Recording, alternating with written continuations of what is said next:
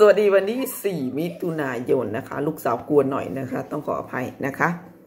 อ่ามาอ่านข่าวแรกกันเลยนะคะ งบปี 65 เนี่ย มติสภาร่างพรบในงบเนี่ย คือผ่านแล้วนะจ๊ะ ภูมิใจไทยเนี่ยขึ้นชื่อว่าเป็นพักที่จุดเริ่มต้นก่อนที่จะมีการโหวตอ่าร่างนี้นะคะ ก็เป็นพักที่น้อยใจแล้วก็โจมตีรัฐบาลแบบว่าอย่างสุดๆเลยนะคะ แต่ก็ไม่คว่ำร่างก็ยังโหวตให้อยู่นะคะ จนพี่รานี่เหน็บเลยนะคะว่าอภิปรายอย่างราศีลงคะแนนอย่างกับหนูนะ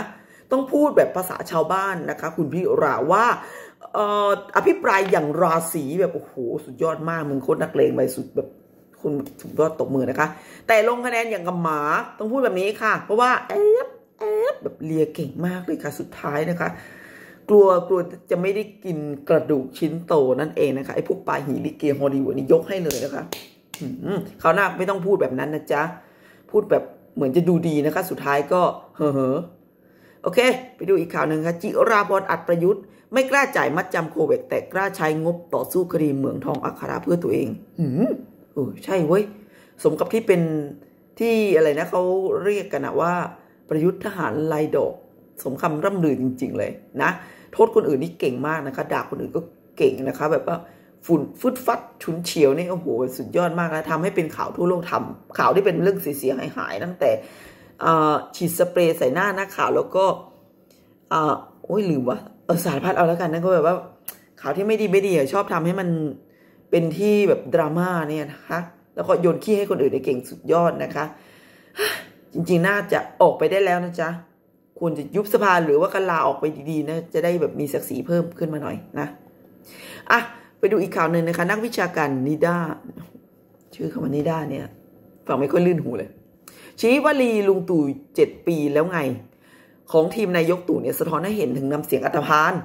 โอ้อันธพาลแค่ไหนให้ดูจากพฤติกรรมของประยุทธ์นะเพื่อ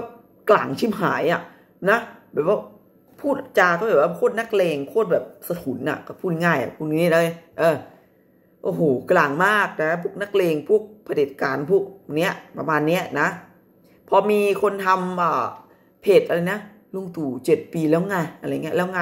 ไม่แล้วไงหรอกไอสัตว์เดี๋ยวกูบุกเพจพวกนี้เดี๋ยวไปดูก่อนเพจนี้มันอยู่ตรงไหนนะไปดูอีกข่าวหนึ่งที่ระชายยันเรื่องจริง รัฐบาลยิ่งลักษณ์วางระบบชำระหนี้ก้อนโตสำเร็จจน รัฐบาลประยุทธ์ เนี่ยไม่ต้องทำอะไรเลยนะมาอ่านรายละเอียดยาวๆเลยนะจ๊ะนายธีรวัตรภูวนา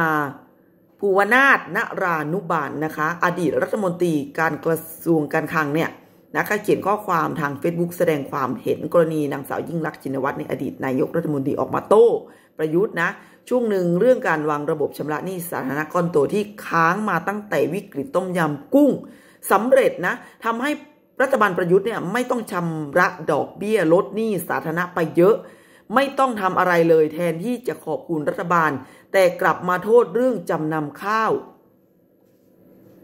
คือก็รู้อยู่นิสัยประยุทธ์เป็นยังไงเนาะอะมาดูอะมาอ่านแบบต่อเลยนะคะผมไม่เคยแชร์โพสต์ของนายกยิ่งลักษณ์แต่ครั้งนี้จำเป็นต้องขยายความ ข้อ 5 5 รัฐบาลดิฉันวางระเบิด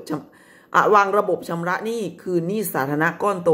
ที่ทิ้งค้างไว้ตั้งแต่วิกฤตเศรษฐกิจต้มยำกุ้งทำให้รัฐบาลคุณประยุทธ์นอกจากจะไม่ต้องจ่ายดอกเบี้ยแล้วยังลดยอดหนี้สาธารณะลงไปหลายแสนล้านบาท โดยท่านไม่ต้องทำอะไรเลย แทนที่จะชื่นชมรัฐบาลก่อน กลับแต่เอาโทษ โครงการรับจำนำข้าวเปลือกนะ่ะเพื่อเบี่ยงเบนความเสียหายที่ท่านก่อขึ้น ผมอธิบายว่านี่สาธารณก้อนโตที่ทิ้งค้างไว้ตั้งแต่วิกฤตเศรษฐกิจต้มยำกุ้งนั้น คืน คือหนี้ที่รัฐบาลจำเป็นต้องเข้าไปช่วยเหลือผู้ฝากเงินกรณีแบงก์พาณิชย์หลายแห่ง ล้มในปี 2540 โดยขณะที่นายกริ่งลักษ์เข้ารับตำแหน่งนั้นมีหนี้ค้างอยู่ 1.3 ล้านล้านบาท ทุกรัฐบาลก่อนหน้าต้องแบกภาระดอกเบี้ย แต่ละปีประมาณ 50,000 ล้านบาท ซึ่งเป็นภาระต่องบประมาณรายจ่ายอย่างมาก นายกยิ่งรักต้องการเอาเงินอะห้าหมื่นล้านบาทดังกล่าวเนี่ยให้ไปจ่ายเพื่อแก้ปัญหาเร่งด่วนอื่น ๆ ของประชาชนแทนเพื่อแก้ไขสถานการณ์ดังกล่าว นายกยิ่งรัก เห็นชอบข้อเสนอของผม ให้ผลักภาระการชำระหนี้ก้อนนี้ออกจากรัฐบาลเอากลับไปให้ระบบแบงค์รับผิดชอบกันเอง เพื่อให้รัฐบาลยุติหน้าที่ชำระเงิน ต้น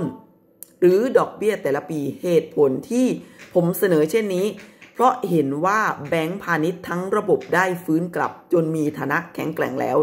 โดยแต่ละปีมีกำไรมากมาย ดังนั้น แบงก์พาณิชย์เป็นหนี้บุญคุณประชาชน จึง ถึงเวลาที่จะต้องรับภาระแก้ปัญหากลับคืนไปเอง ไม่ควรปล่อยให้เป็นภาระแก่งบประมาณของประชาชนอีกต่อไปนะคะ นี่คือรายละเอียดนะคะ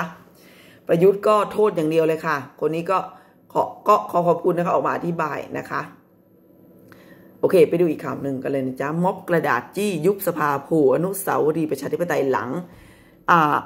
เดมโฮปนะคะ เปิดแคมเปญหลายจุดเมื่อวานนี้นะจ๊ะ กิจกรรมนะคะก็ยังต่อไปเรื่อยๆนะคะ เมื่อวันวันที่ 3 มิถุนายนเนี่ยผู้สื่อข่าวรายงานว่าในช่วงค่ำของเมื่อวานนี้นะคะ ปรากฏแผ่นกระดาษเขียนข้อความต่างๆ โดยเฉพาะการเรียกร้องให้ยุบสภาบริเวณอนุสาวรีย์ประชาธิปไตย ที่ถนนรัชดำเนินนะคะที่กรุงเทพโดยในช่วงเย็นของวันเดียวกันในกลุ่มประชาธิปไตยเพื่อความหวังหรือ DemHope เนี่ย ประกาศเปิดตัวกิจกรรมม็อบกระดาษหรือม็อบทิป รูปแบบเป็นการนำแผ่นกระดาษขนาด A4 สีขาวนะคะ เขียนข้อความต่างๆ ที่อยากจะสื่อสารไปติดในสถานที่ต่างๆ ซึ่งในวันนี้มีการดำเนินการแล้วหลายจุดอาทิวังหลังสยามและอนุสาวรีย์ชัยสมรภูมินะคะ ก็เป็นกิจกรรมแบบว่า โดยที่ไม่ต้องใช้คนนะคะเขียนกระดาษแปะแปะแปะแปะนะคะ เพื่อสื่อสารข้อความให้กับรัฐบาล แล้วก็ สื่อสารความรู้สึกของประชาชนที่อยากจะพูด แต่ไม่สามารถทำกิจกรรมในช่วงวิกฤตโควิดนี้ได้นะคะ ก็เป็นวิธีที่ดีนะคะ แต่ตำรวจก็คงจะจับเรื่องพรบความสะอาดนะคะ แต่ก็ก็อย่างว่านะคะทำอะไรมันก็จับหมดนะคะพวกนี้นะคะทำกิจกรรมอะไรไม่ได้เลยนะคะ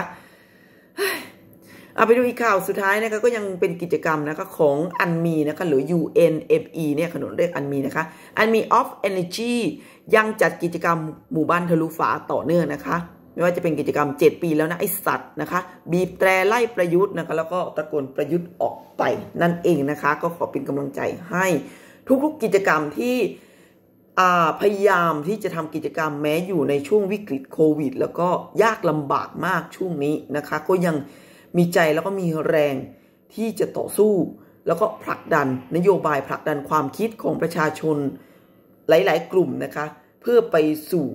ระบบ สภาเพื่อไปสู่นักการเมืองที่ต้องการสื่อสารนะคะ มากน้อยแค่ไหนเราไม่รู้แต่ก็ทำให้ดีที่สุด แล้วก็พยายามที่จะอยู่ในจุดของการป้องกันโควิดนะคะ ซึ่งกิจกรรมของอประชาชนที่อยู่ฝ่ายประชาธิปไตยในขนุนยอมรับว่าทำได้ดีมากนะคะ ขอชื่นชมนะคะ โอเคหมดแล้วนะคะ เจอกันจ้ะ